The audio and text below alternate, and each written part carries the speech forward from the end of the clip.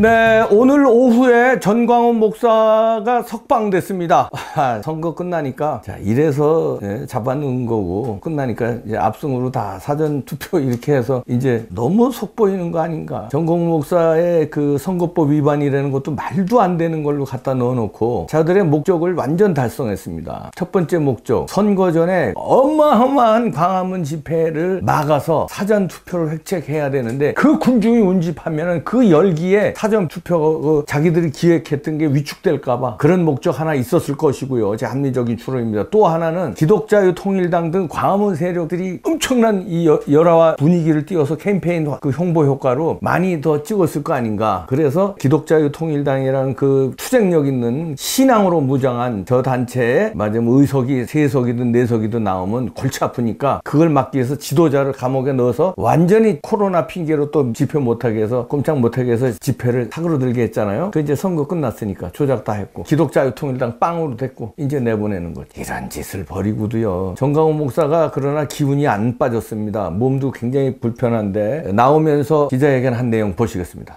존경하는 국민 여러분, 어, 우리는 이겼습니다.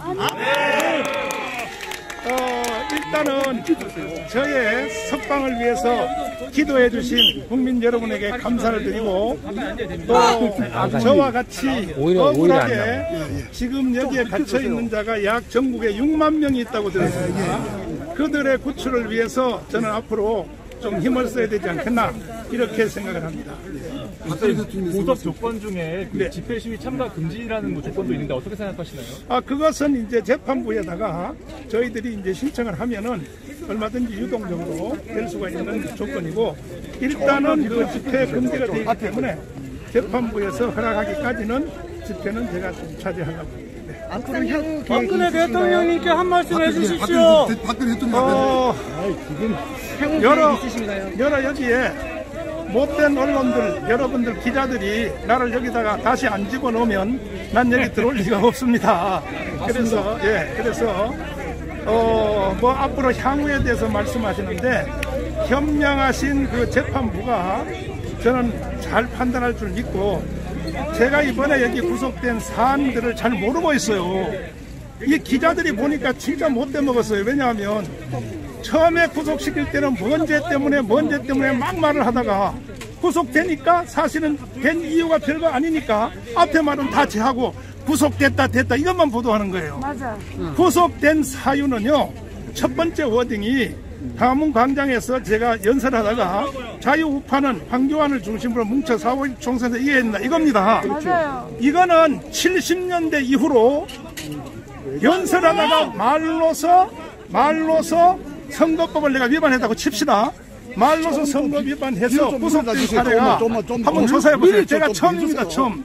또 하나는 19,230개 나라에서 한기총 대표장을 구속한 적은 대한민국이 이번에 처음입니다. 대한민국은 개망신을 당했습니다. 네, 그래서 앞으로도 이제 그 여러분들이 직접 재판을 한번 해보십시오.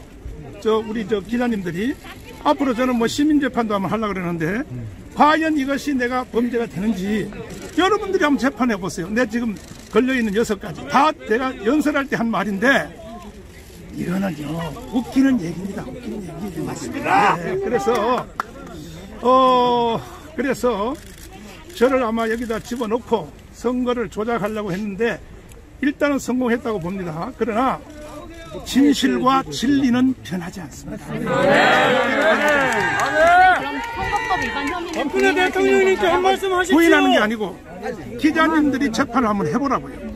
내가 지금 걸고 있는 다섯 가지가 과연 되는지 기자님들이 한번 모여서 재판 한번 해보십시오. 마지막으로 좀 건강 상태는 어떠세- 어떠세요? 건강 상태를 자꾸 날 보고 엄살 부린다 뭐 이런 말들을 해서 그렇지 않아도 내가 진단서를 어, 방 안에서 준비해 가지고 왔습니다.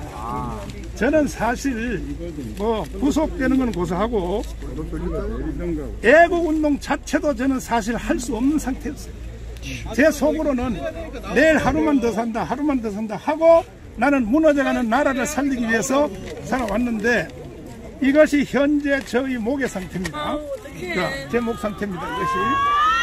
그러니까 저는 여기 나가다도 딱 넘어지면 바로 가요 하늘나라. 하늘 바로 가는 있는 상태인데 이걸 가지고 또 기자들이 뻔해요. 정강훈 목사 또뭐 너무 관용을 베풀어 또 구속 풀었다. 이걸 한번 보십시오. 이 상태를 한번 보십시오. 이 사진을 한번 보십시오. 그러니까 처음부터 구속은 잘못된 거예요. 내가 설령 죄를 졌어도 이런 중환자를 구속할 수 있나요? 이런 중환자를?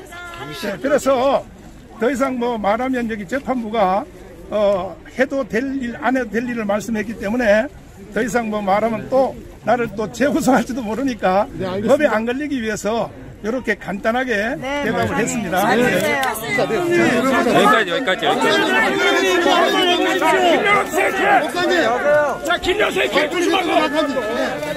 환영을 받으면서 석방되셨는데 아우 아주 그 신앙의 힘일까요? 굉장히 그 에너지가 넘치시는데 사, 사실 그 엑스레이 그 사진도 보여주셨지만 그 그렇게 서 있기도 힘든 목이네요. 말 말하기도 힘든 목인데 어떤 힘으로 저렇게 투쟁을 하셨는지 참 이해가 안 가는데 참 대단합니다. 그리고 기자들한테 이제 불만이 상당히 많으신데 우리나라 언론이 어, 썩었어요. 그 기자들도 물론 이제 자질이 안 되는 기자들이 좀 여러 있습니다만 저 기자들도요 할 수가 없는 게 데스크 또 위에 논조가 있어요. 방송사, 신문사에. 그러니까 그 논조대로 어떻게 할 수가 없는 거야. TV조선하고 채널A 오늘 재승인 받았더라고요. 참 더 이상 말 안 하겠습니다. 저도 채널A TV조선에서 방송 많이 해서 또 혜택도 많이 받았던 사람이라서 더 이상 말 안 하겠는데요. 그 논조 선거 끝나자마자 재승인 주네. 살아남아야죠. 살아남는 자가 강한 거니까. 네. 저것이 이렇게 죽는 자는 약한 거고. 네, 좋아요. 좋은데 에이,